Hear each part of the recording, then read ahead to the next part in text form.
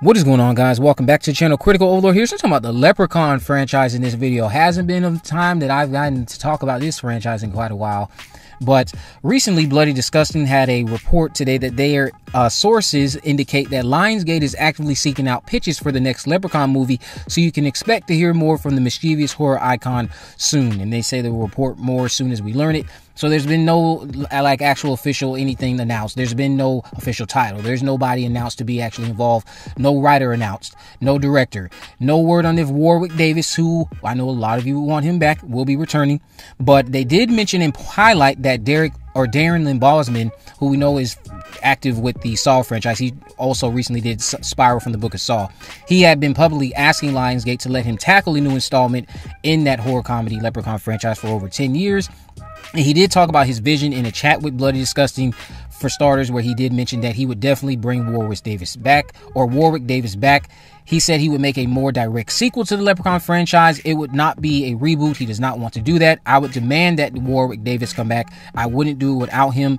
And I would not try to change the tone. I would make it equally as bat batshit bonkers crazy. It would be between the first film and Back to the Hood. It would be somewhere in that tonal frame. It got really ridiculous as they went on, but that ridiculousness is what made them fun.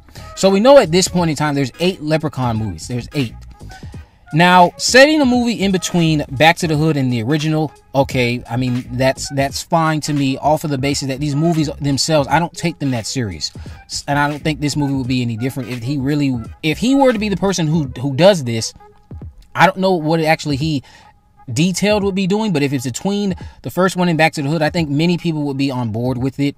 Uh, only because of the fact that the series in and of itself is ridiculous. Sure, you could do a sequel to Back to the Hood, but I don't I don't know if I really want too many more movies that are in the hood at this point. Also, if if it's a sequel to Back to the Hood and it's still in the hood, that's what I'm saying. I don't know if I want to go back to the hood again if it can be a sequel to Back to the Hood without being in the hood, that's all I'm saying.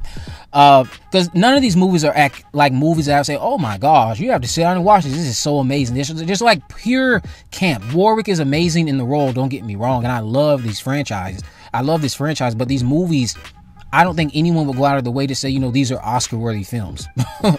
uh, and I, the last one I think premiered on Sci-Fi. So having Warwick back in the role, he does an amazing job every time. He is like the best part about those movies, no doubt about it. So having him back, I know there was a time where he stated he did not want to do certain movies like this because of his son. He's he stated that he would change his mind or start to reconsider it once his son turned 18.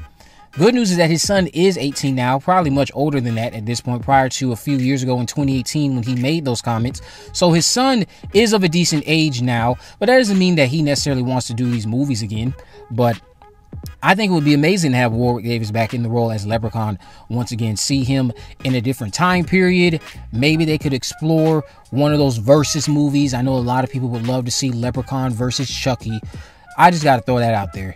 Leprechaun versus Chucky on paper, while I think that sounds amazing to the inner child in me that loves those two icons, the characters themselves, one has such a advantage over the other one. It's not even going to be reasonable unless you write it a certain way where Leprechaun has lost his powers.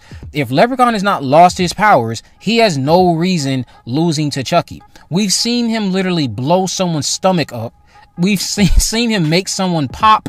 We've seen him do a lot of things. We've seen this thing make someone pull a gun up and shoot themselves in the head. So I mean, come on now. Losing against Chucky, you'd have to have something in the narrative where he lost his powers. because that that alone wouldn't even be a long fight. But I don't know what they necessarily would explore if we don't get that get that idea from Bousman. Uh, but I would love to see what he had in store because he seems like he's been dying to get his hands on this property. I would love to see Warwick back.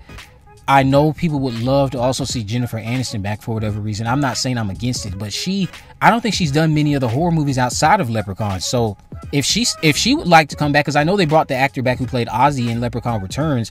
So if they wanted to revisit that dynamic and have Jennifer Aniston back for a Leprechaun movie, I'm not saying don't do that. That that would be cool if you come up with a unique concept. Bring her back, bring Warwick back, bring some other familiar faces back from the original film. I'm all for it.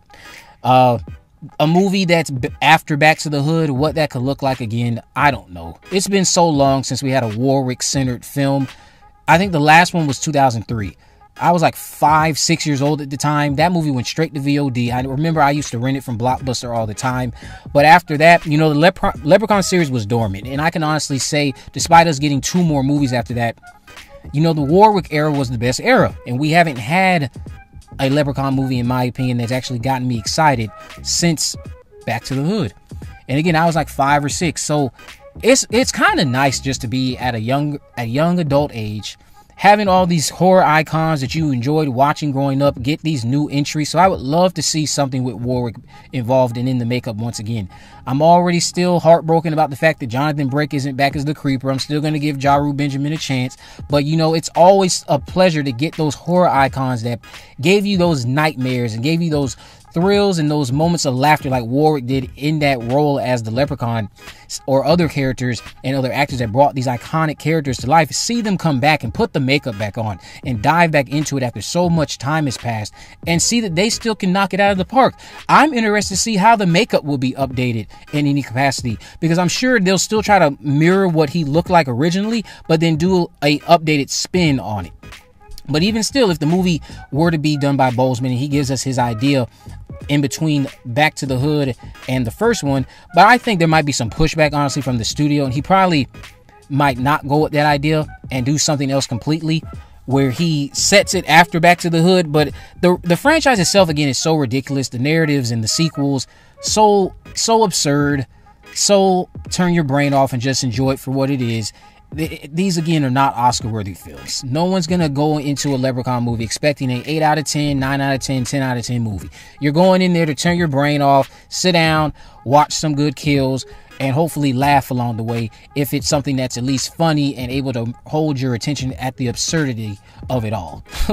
but I can't wait to see what comes of this news that we got today. Let me know what you guys think about all this down in the comment section below. What is your favorite film from the Leprechaun franchise? What do you think about this? Do you want Warwick Davis back in the makeup? Let me know all that down in the comment section below. If you haven't already, of course, make sure you subscribe, turn on post notification, and miss a video. In the description, I have links to my social media accounts, my Facebook, Twitter, and Instagram. You can message me there, of course. So let me know if there's any movies, news, or reviews you'd like me to cover in the future. And with all that in mind, guys, I will see you in the next video.